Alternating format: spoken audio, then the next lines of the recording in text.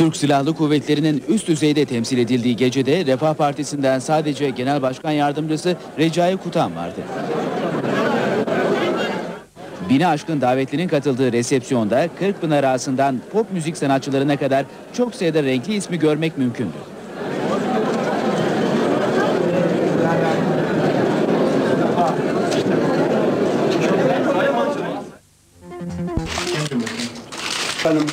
Babayla kızının yolları uzun süre önce ayrılmıştı. Demin sonra ilk kez köşkteydi. Çiller yeni yıl resepsiyonuna katılarak Cumhurbaşkanı ile bir araya geldi. Resepsiyona eşi Özer Çiller yerine DYP Genel Başkan Yardımcıları ile gelen Çiller önce Cumhurbaşkanı sonra eşi Nazmiye Hanım'la tokalaştı.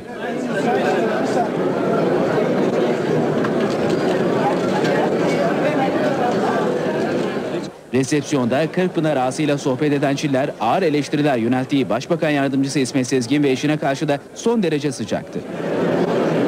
22 dakika